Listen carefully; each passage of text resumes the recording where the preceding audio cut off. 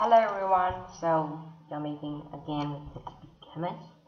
So hope you had a nice holiday and a Christmas vacation on the last year and a happy happy new year for y'all with luck and safeness and okay if your holiday was really good just comment down below. How about the Christmas events? What's happened? Okay so today we're gonna do periodic table part 1 and part 2 of atoms and part 2 of periodic table or valency or electronic configuration or on our next video. So I guess my mic quality is really good than before. Happily okay so as I said how was your holiday okay I guess it good so last let's last let's move into a lesson. Today's sponsor of this video is uh, Lingoda. So you can find British English any language you want. So I have named down all the channels even which entertained and give me some kind of confidence and some kind of factor or informative. I really thank NileRed, Nine Blue and Nine Red Shorts, the same person, and Family Booms, okay? So I love that channel so much. So happy new year for them too uh, if they're watching or uh, and my name is Rion Milroy and now let's move into a lesson periodic table okay. What's an periodic table? Now the first question much much many people could hear or appear in their mind is what's an periodic table. Now in one of my past videos which I have up there you can see it up there a notification. So I did about elements atoms and stuff. So in the part 2 of atoms I'm going to do compounds how to name compounds and under that only valency electronic configuration comes so I didn't do the part 2 because you need to know the periodic table before going to compounds. Okay, now many people have studied up to calcium, so I can say so fast, many of my friends.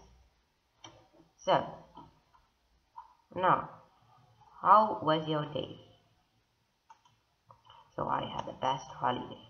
Now I'm not gonna ask right now again, but this is periodic table. Now, what's a periodic table? It's a simply collection of friends. Am I correct? No, it's wrong. It's not friends, but it's animals. But they do even have groups of friends too. Okay, so this periodic lesson is good for uh, beginners, I guess so. And the next video is gonna be an intermediate level so which is to be bonus level so okay now with its relativity info you have the atom atomic number mass or the weight or electrons per shell something like that so electrons per shell do not mix up now i'm going to explain it later on so let's go to the next slide so these are the basic two elements. Now there in the first period, period one, hydrogen and helium. So hydrogen has many properties with others. So it is considered uh, out of the uh, one, but sometimes in periodic table you'll see combined. Okay, next we have a small grid with they have alkali metals, alkaline and stuff. I'll read more if you want to. Okay, so you have you have alkali, alkali metals, alkaline earth metals, transition metals, lactates, actins, post-transition metals, metalloids, reactive nonmetals, noble gases. So hydrogen comes under reactive non-gas, non-metals. Reactive non-metals. So hydrogen, carbon, nitrogen, fluorine, phosphorus, sulfur, chlorine, and xanthium, bromine, and iodine are reactive nonmetals. And nonmetals, most of them are gases, something like car, uh, nitrogen, oxygen, chlorine, chlorine, and then reactive. Okay, now I'm going to talk about reactive stuff and non-reactive and why they are non-reactive why they are reactive. How they share, how how they borrow someone's uh, electrons. So I'm gonna talk about it in the bonus level or the intermediate level. Okay. So these are the two elements. Now today in this lesson we're gonna spell out four elements. Okay? So it's easy for you all. Is spelling stuff like H hydrogen, He helium. Okay. Now you can tell with me H hydrogen.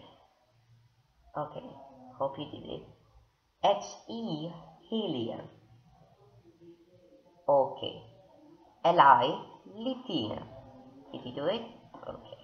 I'm gonna give you some time, about 30 seconds to study. So here the time goes.